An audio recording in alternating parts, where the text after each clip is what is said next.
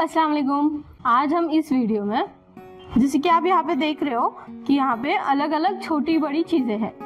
तो उसी तरीके से हमने पिछले वीडियो में सीखा कि अदद का छोटा बड़ापन क्या होगा। अभी हम देखेंगे ये चीज़ों में सबसे छोटी अशिया कौन सी है और सबसे बड़ी अशिया कौन सी है।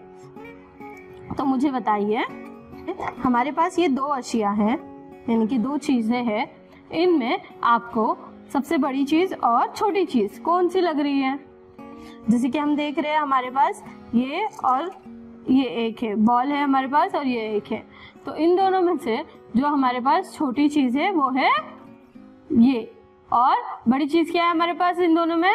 ये। तो बॉल इससे बड़ा है। इसी तरीके से ये हमारे पास छोटा है और बॉल बड़ा है। अभी हम और कुछ मिसाल लेके देखेंगे। जैसे कि हमारे पास ये दो बॉक्स है। तो इसमें छोटा बॉक्स और बड़ा बॉक्स कौन सा है? ये हमारा छोटा बॉक्स है और ये बड़ा है। तो ये बॉक्स इस बॉक्स से बड़ा है। क्या है? ये बॉक्स जो है हमारे पास इस बॉक्स से बड़ा है। हम और मिसाल के साथ समझने की कोशिश करते हैं।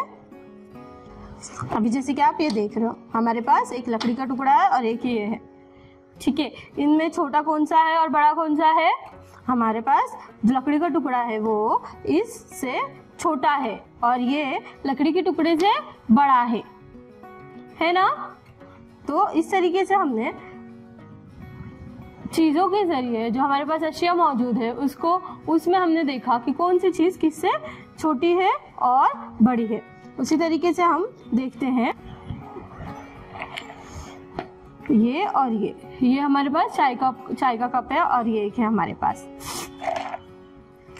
तो इन दोनों में से जो हमारे पास चाय का कप है, वो इस बाउल से छोटा है और बाउल जो है, वो चाय की कप से बड़ा है। समझ आ रहा है ना? तो हमने क्या क्या सीखा आज? क्या क्या चीज़ें से सीखा? हमने कुछ चीज़ों के ज़रिए कोशिश की है कि छोटी अशिया और बड़ी अशिया कौन सी है? तो ये हमारे पास बॉल से हमने ये देखा। फिर इससे और और इस बॉक्स से हमने मिसालों के ज़रिए समझने की कोशिश की। देख रहे हो आप? तो ये जो बॉक्स है, ये इस बॉक्स से बड़ा है और ये जो बॉक्स है, इस बॉक्स से छोटा है। ठीक है? और ये जो हमारे पास लकड़ी का टुकड़ा है, इससे छोटा है। और ये लकड़ी के टुकड़े से बड़ा है। देख रहे हो आप? ये बड़ा है।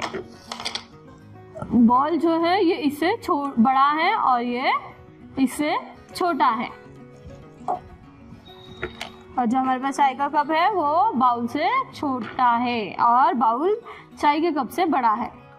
ठीक है? तो इस तरीके से हमने चीज़ों के ज़रिए छोटा और बड़ापन समझने की कोशिश की है। शुक्रिया।